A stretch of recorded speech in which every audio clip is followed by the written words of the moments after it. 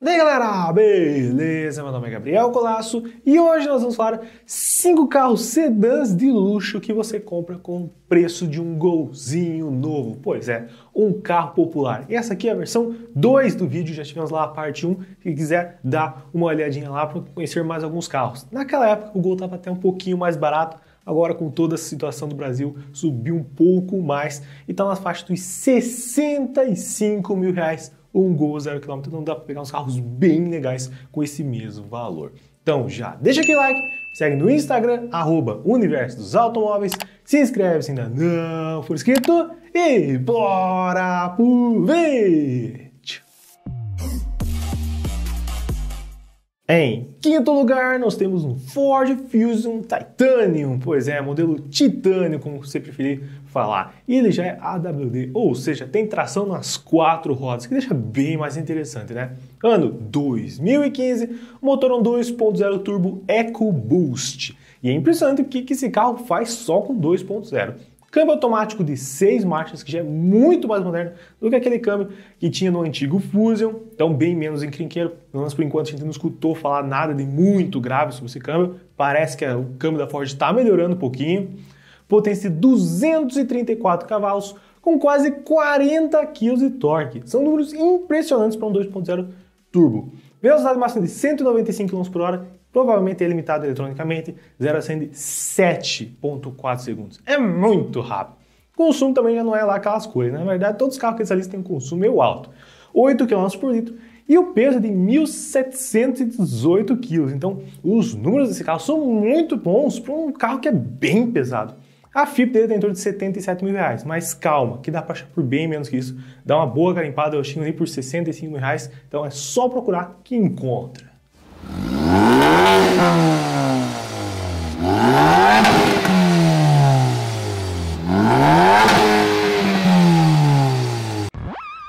Em quarto lugar, nós temos o Audi A5, que é um carro muito luxuoso, bem moderno, bem bonitão mesmo, hein? Chama atenção por onde passa. Ano 2009 e o motorzão desse aqui que eu separei é o 3.2 V6. Isso porque o A5, se for para ser os baratinhos, você vai pegar lá 1.8 ou 2.0, que é aquele motor encrenqueiro, que fuma com facilidade e teve um monte de problema de fábrica. Então é melhor que você pegue o V6. Ou você quiser garimpar, mas ainda pegar a versão 4, que daí tinha tração integral e aí tinha um motor 2.0 que não era encrenqueiro, que tinha 200 e poucos cavalos. Então, na dúvida, vai do 3.2 V6 que tem um ronco incrível. Só que esse ronco só é incrível parado. Quando você anda com o carro, o ronco é totalmente destruído pelo câmbio CVT de 8 marchas simuladas. Pois é, por isso que esse carro é tão barato. Porque ele não tem aquela sensação boa ao dirigir, porque o câmbio tira completamente a esportividade do carro. Mesmo que ele continue rápido, é um câmbio difícil de quebrar. Só que não tem aquela sensação legal que um duplo embreagem tem. Então, por isso que esse carro é barato potência de 270 cavalos, 33,7 kg de torque, velocidade máxima de 250 km por hora, 0 a 100 de 6,6 segundos. Então, como eu disse, é muito rápido, só não tem mesmo aquela sensação gostosa. Consumo de 7,6 km por litro, como eu falei, os carros aqui são meio beberrões, né? não levei isso em consideração. Peso de 1.500 kg, não é tão pesado para a categoria. FIP de 67 mil reais, mas acham que um pouquinho menos em NX, justamente porque eu falei que ele não tem aquela esportividade.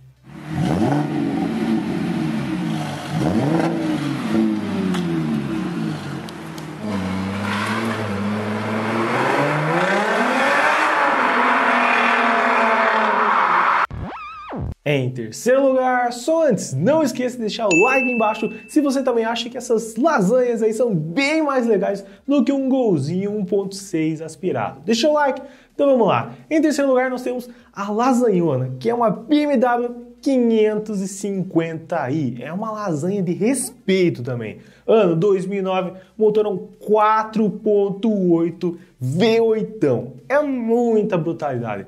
Câmbio automático de 6 marchas, que está bem legal para 2009. Potência de 367 cavalos com 50 kg de torque. É pura brutalidade. Velocidade máxima de 250 km por hora 0 a 100 de 5.3 segundos. O carro é muito rápido. Só que isso aí reflete no consumo, né? 3.7 km por litro. bebe pra caramba. Você vai ter que comprar um posto de combustível. Mas cavalo anda, cavalo bebe. Peso em 1.735 quilos.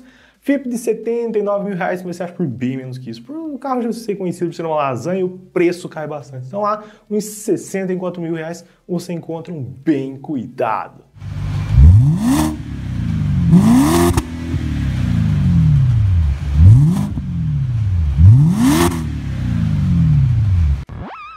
Em segundo lugar, nós temos a Mercedes-Benz C180, que é o feijão com arroz da Mercedes, né? o carrinho mais comum deles. Ano 2013, e ó, para o ano desse carro, está muito à frente do seu tempo a sua configuração. É mais ou menos as configurações dos carros de hoje em dia. Então, olha lá, é 1.6 turbo, tá? Um motorzinho até que legal, com câmbio automático de 7 marchas. Para época estava muito bom potência de 156 cavalos, 25,5 kg de torque, para 1.6, esses números aí estão fantásticos, hein? Velocidade máxima de 223 km por hora, 0 a 100 8.5 segundos. Isso aí provavelmente é por causa do câmbio, que tem bastante marcha, então tem um escalonamento bem legal.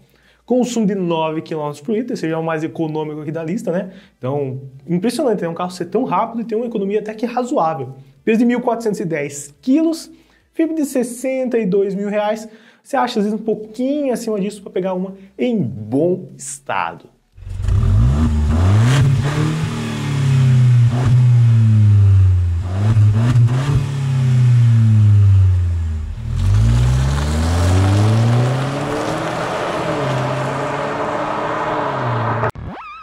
Em primeiro lugar, nós temos o Volkswagen Passat CC, que é outra lasanha de muito respeito. Sério, o carro é muito legal, tem uma configuração muito interessante. Ano 2011, o seu motor é um 3.6 V6, que na verdade é um VR6, ou seja, a gente já sabe que é uma mecânica muito confiável e que tem um ronco incrível. E você deve estar pensando, ah, Gabriel, mas o câmbio automático vai matar o ronco, né? Um carrão desse aí ter um câmbio automático ali de conversor de torque, que deixa o ronco tudo feio. Mas não é isso que acontece. Esse carro tem um câmbio DQ250, que é o câmbio automatizado de seis marchas. A gente já sabe que é muito robusto e não estraga o ronco do carro. Pelo contrário, deixa o ronco do carro ainda mais bonito, daqueles estourinhos quando passa marchas. Então ele é muito rápido e muito durável. É um câmbio que vale muito a pena. Então é um dos melhores câmbios que o conjunto Volkswagen e Audi já fizeram. Potência de 300 cavalos com 36 kg de torque. Então é muita coisa, é bem bruto mesmo. Isso no motor aspirado, ou seja, quase instantâneo. Velocidade máxima de 250 km por hora, 0 a 100 de 5.6 segundos. É ridiculamente rápido. E o consumo para o conjunto até que está aceitável, né? 6.7 km por litro. Peso de 1.632 kg, que está aceitável também. FIP de 63 mil reais, só que para você pegar um em bom estado, vale a pena você pagar um pouquinho mais, em 65 mil, você vai pegar um muito bem cuidado.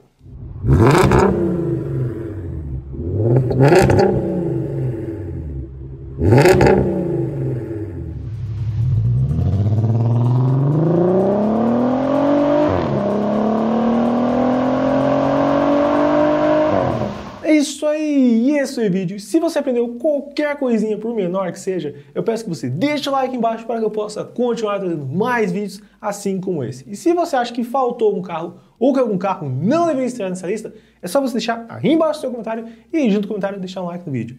Eu espero que você gostou desse vídeo e deixado aquele gostei. Então, falou!